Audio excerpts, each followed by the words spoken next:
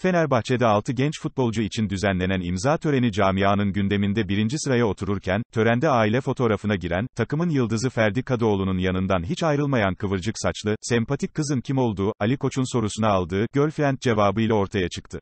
Bunun üzerine yaptığımız araştırmada, genç kızın adının Sera olduğu, babasının da Hollanda'da ürkütücü fiziğiyle ünlü bir karma dövüş sporcusu Dick Virij olduğu ortaya çıktı. Ferdi Kadıoğlu'nun formunun her hafta daha da yukarıya doğru ivme kazanması, yüzünün daha fazla gülmesiyle doğru orantılı olduğu, her ikisinin de altında yatan gerçek sırrın aşk olduğu ortaya çıktı.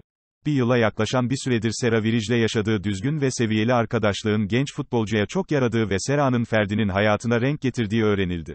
Fenerbahçe'ye henüz 16 yaşını bitirdiği günlerde transfer olan Ferdi Kadıoğlu'nun genç yaşında ailesinden kopması, Türkçeyi anlıyor olsa da konuşamaması onu ilk yıllarında zorluklara ve yalnızlığa iterken, bu durum form grafiğine de olumsuz yansımıştı.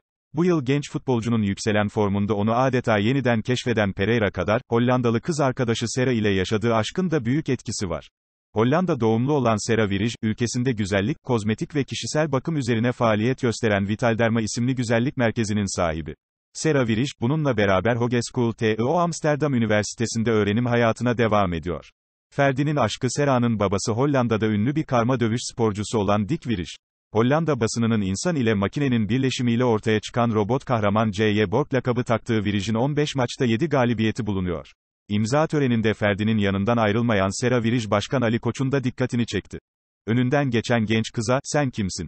diye soran Koç aldığı, girlfriend yanıtı üzerine, aferin Ferdi, dedi. Kanalıma abone olmayı unutmayın.